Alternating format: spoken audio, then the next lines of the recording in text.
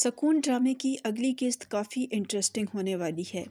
एक तरफ़ हमदान परेशान है कि वो गुड़िया को हकीकत नहीं बता सकता कि उसके भाई की वजह से वो किस कदर मुश्किल में घिर चुका है।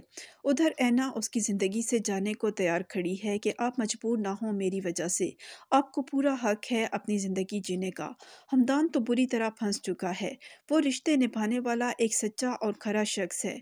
ऊपर से अमजद अंकल ने आकर जिस तरह हाथ जोड़े हैं, इसके बाद तो को वो तकबर भरा शख्स याद आ गया, जिसने उसे धुतकार कर घर से निकाल दिया था। और आज अपनी बेटी की खुशियों के लिए हमदान के आगे हाथ जोड़े खड़ा है। वो चाहती तो जाकर खड़ी हो जाती उनके सामने। बताती उन्हें कि जब अपनी बेटी पर बात आई तो कहाँ गई वो अमजद खान की अकड़, लेकिन वो ऐसी नहीं है।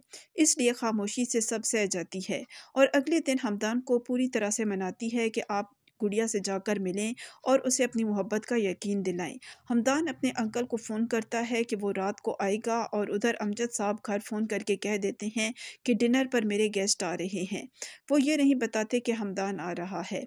इसके बाद आप देखेंगे कि हमदान गुड़िया के घर आता है और सीधा गुड़िया के कमरे में चला जाता है, उसे अपनी मोहब्बत का यकीन दिलाने के लिए, जिस पर वो कहती है कि हालात जो भी हों, जैसे भी हों, मैं एडजस्ट कर सकती हूँ।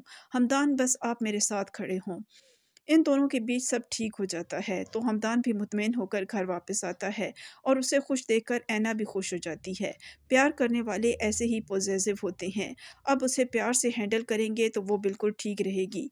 इधर अगले दिन आप देखेंगे कि हमदान ऑफ़िस से उठकर लंच के लिए निकल रहा है। अपने अंकल को बताता जाता है कि शानजे के साथ लंच पर जा रहा हूँ। वो ये सुनकर खुश हो जाते हैं कि हमदान की मोहब्बत पाकर उनकी बेटी फिर से जी उठेगी। ये दोनों एक रेस्टोरेंट में बैठे हैं। जब गुड़िया हमदान से कहती है कि आपका इनकार सुनकर मुझे लगा था कि आप किसी और को पसंद करते हैं और उसी से शादी करना चाहते हैं, जिस पर हमदान कहता है कि मैं अगर किसी और से शादी कर चुका होता तो तो जवाब में शानसा कहती है तो मैं भी मर चुकी होती। मैं सब कुछ बर्दाश्त कर सकती हूँ, मगर आपकी ज़िंदगी में कोई और नहीं। यहाँ पर हमदान परेशान हो जाता है।